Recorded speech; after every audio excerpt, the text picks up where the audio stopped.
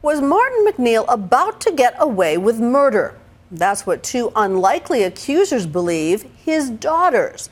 They say he killed their mother, and they've spent the past six years trying to prove it. From a suspicious nanny to an unnecessary surgery, the puzzle pieces they claim are finally in place. My co anchor Dan Abrams brings us the latest compelling testimony for our series, Crime and Punishment. Do you recognize what that is, Rachel? Yes. And what is that? It's a picture of my mother. It was a dramatic moment in this five day old trial. Rachel MacNeill called to testify against her once beloved and admired father, Martin, for the suspected murder of her mother, Michelle. Do you uh, recognize this man sitting right here? Yes. Who is he? He's my father. Sitting only feet away from him in a packed Utah courtroom, her voice unsteady, the shaken daughter talked about the man she once loved so much. How close would you describe your relationship with your dad growing up? Very close. And why would you say that?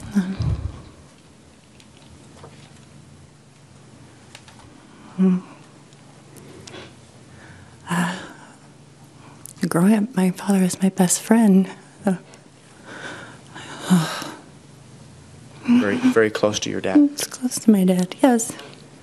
Rachel and her sister Alexis have been on a six year campaign for this moment to see their father, a doctor and prominent member of this Utah town, tried in connection with the death of their own mother. In fact, without their persistence, this case would likely have never come to trial. Ever since um, the day my mom died, I, I was concerned that my father killed her. And um, I've been fighting to get justice for this case uh, ever since then he did not count on his daughters actually turning against him. He did not count on his daughters putting two and two together to get the answer of four murder. But they did, and they never gave up. Prosecutors believe that in 2007, MacNeill pressured his wife, a former beauty queen, to get a facelift, but with only one real goal in mind to over medicate her during her recovery and ultimately kill her. It was my father's voice. Rachel recalled the phone call from her father. Rachel, quick, get to the, get to the hospital. It's your, it's your mother. Quick.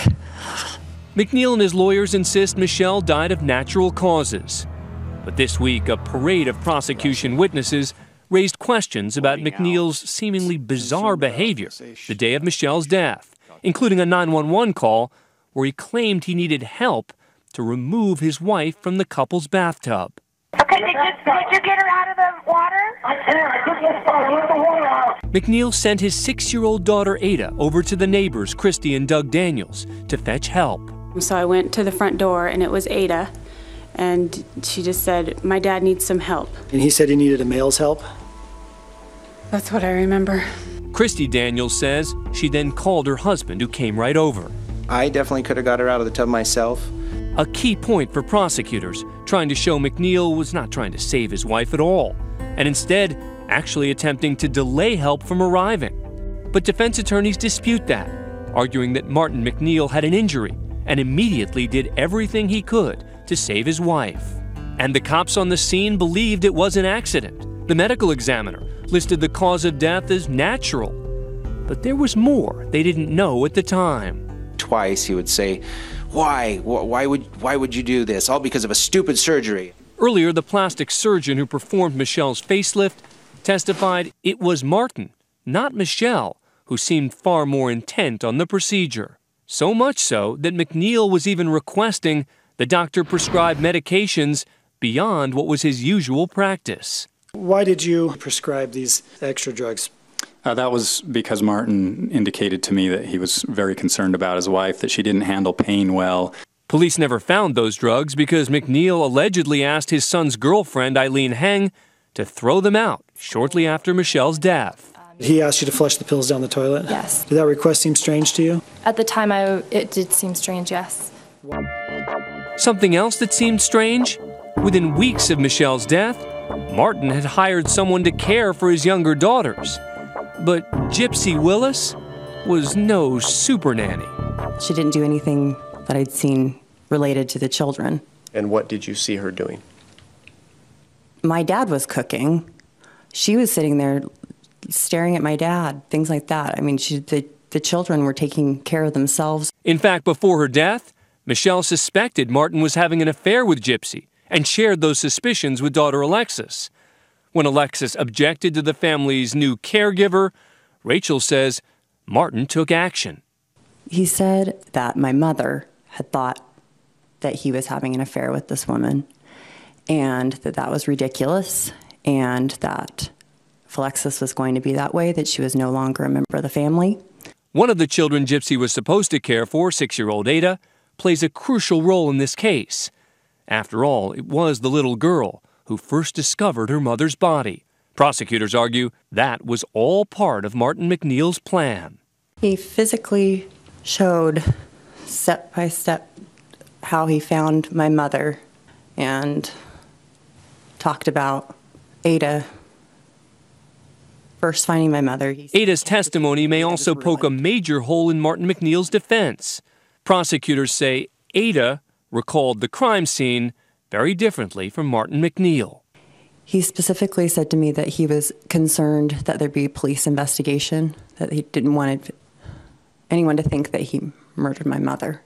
It was so shocking to me. I said, Why? Why would anybody think that? Why would anyone think that?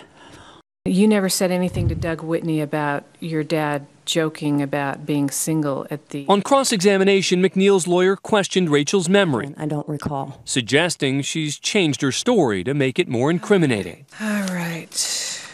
And even asked about her history of mental illness. And you've been diagnosed bipolar? Have I in my lifetime been diagnosed as bipolar? Yes. The defense insists MacNeill has an alibi, that he couldn't have killed his wife, they say, because he was at a work event at the time. But prosecutors don't buy it, arguing that supposed alibi was just a part of Martin's sinister plan. At the event, colleagues say he acted strangely. Um, he told me he needed his picture taken. He was adamant. In the coming days, daughter Alexis is expected to be called back to the stand, and tomorrow, that infamous nanny, Gypsy Willis, is scheduled to tell her side of the story. Court's in recess. For Nightline, Dan Abrams, New York.